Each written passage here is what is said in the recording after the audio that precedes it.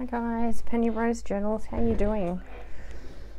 Um, well this is something that's been contributing to the mess on my desk recently. Um, unfinished um, journal of the um, limp binding persuasion. Um, I made this cover oh, a fair while ago. And it's just been sitting here. I even chose some papers for the um, the signatures. Uh, I probably need to choose some more, but yeah, I just had this sitting over there. So I thought maybe I would just come along and do some work on it. Pretty sure I've shown you my limp binding before um, the purple one. Can't remember her name off the top of my head.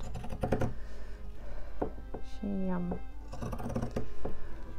she was an example of my limp binding. Um, I did all these covers at the same time, and you know how long ago it was that I finished that one. So this has been sitting here for a while. So I'm just going to tidy up the edges and I'll sew on the buttons.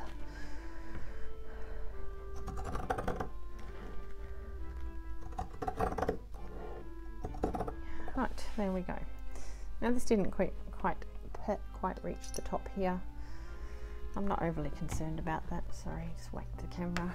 I'm not overly concerned about that, but I can cover that up as I go. If the fancy takes me.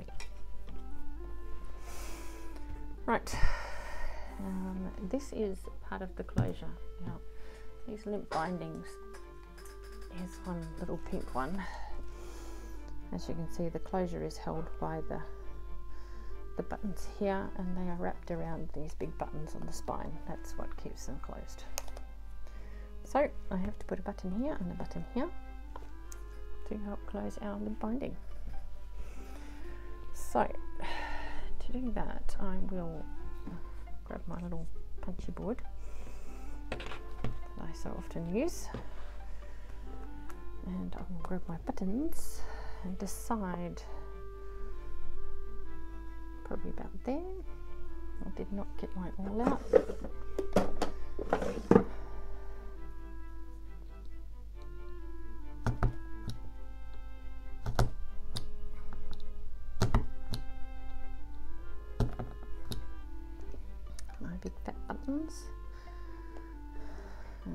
probably put this one about the same distance from this end.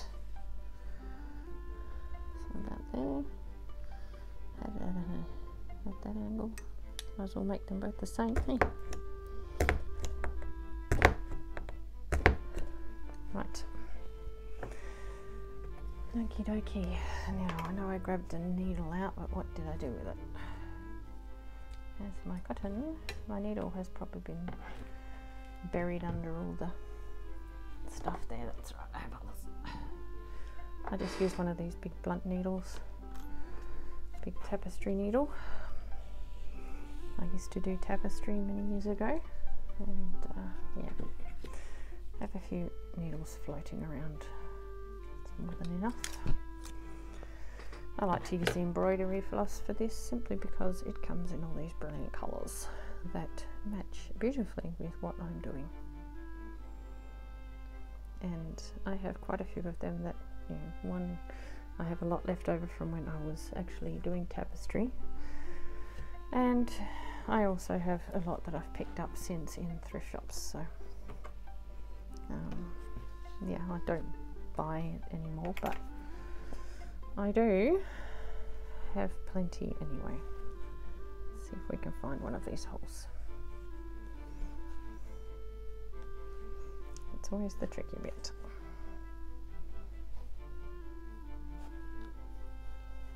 You'd think it would be easy, but no. Now this piece of um, card and um, it's just a big piece of like um, lever arch folder probably can't even remember now um, that's just been covered in faux leather that has been well glued to this so it is um, not going to go anywhere. But now it will also be sewn onto this so I mean I'm just looking for that hole found it.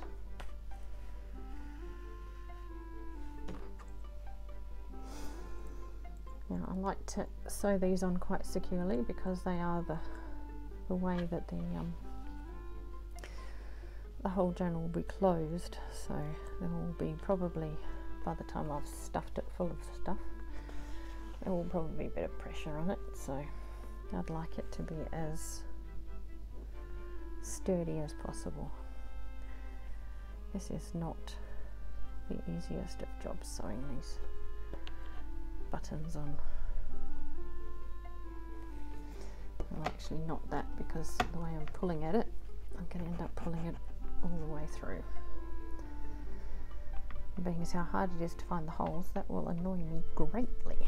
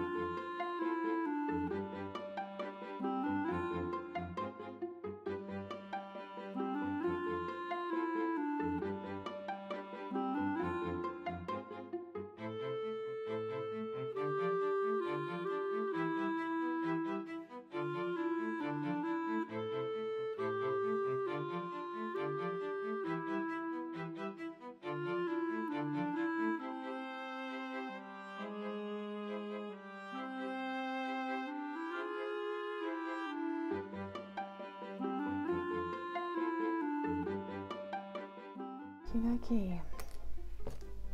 Now, let me grab the um,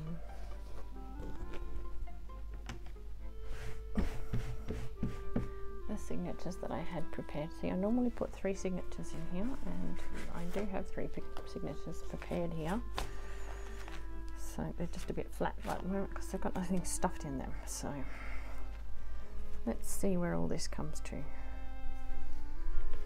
Okay that'll actually be pretty good. It's not going to be too long. I'm just going to call it at that as far as the cover is concerned. So I just need to put the buttons on this one. So that over here somewhere. Here's one button. Here's another button I didn't have any more big yellow or orange buttons, so these were the biggest ones I could find. But I don't mind, I the buttons here are also odd. And you have a certain amount of these big buttons. So, what I think I will do is place them about here. Might as well just use the same cotton.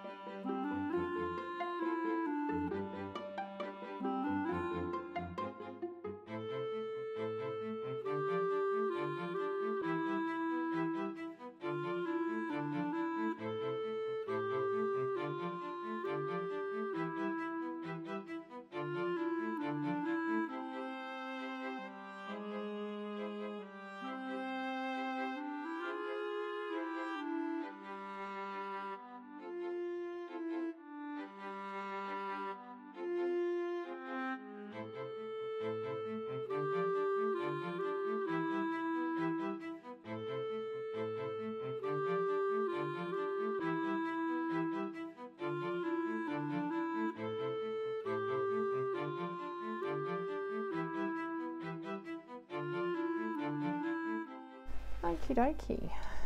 There we have that. Now we just have to work out how we're going to make our closure.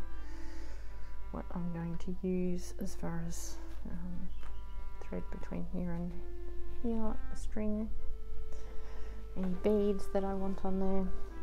Um, yeah, and I definitely need to bulk out my signatures some. Hey guys, okay, I collected um, some beads and some twine here. Um, I'm having to do a voiceover because I forgot to put my microphone back on at this point um, because I've been wandering around my room searching for things. So, yeah, these are the beads I found. Um, didn't have anything orange, but these are sort of gold, which I thought suited quite nicely. Um, this twine's quite a bit thicker than what I was planning on using, but I just like the colour match and it's not too thick for the purpose. Um, I did have some challenges getting the beads strung on it, but um, yeah, I cut all those bits out because you don't need to see me sitting here fighting trying to get some string through the middle of a bead. um, basically, what I'm doing is tying the string to this button here um, I won't do that until after it's beaded, but and then it goes around the large button and then pulled back to the smaller button and wrapped around and that's the closure. That's that's how it's secured. So um, aside from cutting out the uh, fun bit of me fighting to get uh, this piece of fat string through a skinny bead. Um, pretty much everything else is in there, so um, it's not like you'll uh, you'll miss out on anything. Um, but yeah, I only do this one on camera. The other one I will do later, and um, yeah, when we come back to bind the journal, you'll see me. Um, we'll see that completed. So um, yeah, this is where the first bead will hang. Just tie it around this button. Only needs one knot. It's a very thick string. That's going to be a very sturdy knot. And then these buttons are quite tight at the moment. They will loosen off as time goes, so I'm not concerned about that. But yes, getting that string under there is quite challenging right at the moment. Um, by the time I finish the journal, that will have sort of loosened up a little. So they wrap around the large button and then back around the small one um, and have another bead on the end. This was obviously a bit tight, so I sort of pulled it back and just sort of judged how wide I think the journal will get once I've um, stuffed it full of all the things that it will have. So and then my string will wind around that button a couple of times and the bead that I am about to pop on the end will um, will give it that little bit of weight so that it hangs nicely. So there we go. That's the closure. Um, there's another one of those at the top obviously but I will complete that off camera. So that's it for today, guys. Thanks for coming along. It has been a pleasure having somebody here to keep me company, as per usual. Um, yeah, I hope you enjoyed this, and I will look forward to seeing you again next time. Bye.